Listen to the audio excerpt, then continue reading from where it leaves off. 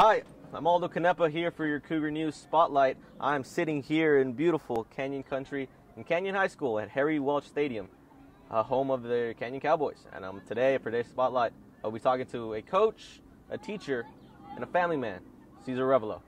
Enjoy. And uh, let's see, I started off coaching football in 2005, and for three years I was an assistant on JV, and then I was the freshman football head coach for three years, and then JV head coach for two years. I loved the lower level coaching, I really did. Um, the fact that I'm building the base for what will come, you know, I'm laying the foundation of the program.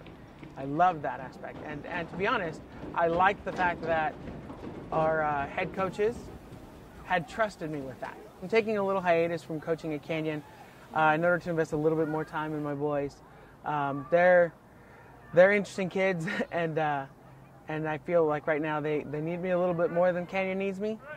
Uh, but they're both very, very different kids. I mean, my older son, Nicholas, is, uh, is a baseball kid. He's very analytical, he's very uh, He's about the process. He wants to know everything about the process before he kind of sets foot into it. And my younger son, Aiden, is very uh, experiential. He, he really wants to stick his hands in it and get dirty and, and you know get in it before he decides if he wants to do it or not. I teach English, um, and it's a funny story because English isn't my first language. Um, but by the time I was in kindergarten, I was fluent in both English and Spanish. I figured out really early that um, the better my English was, the more well spoken I was, the more kind of people automatically respected you. Um, and I, you know, figured out the power of words is, is pretty strong. Even, um, you know, little things. If you speak well, people automatically give you a little bit more credit. If you can articulate your position well, that that's there's power to that.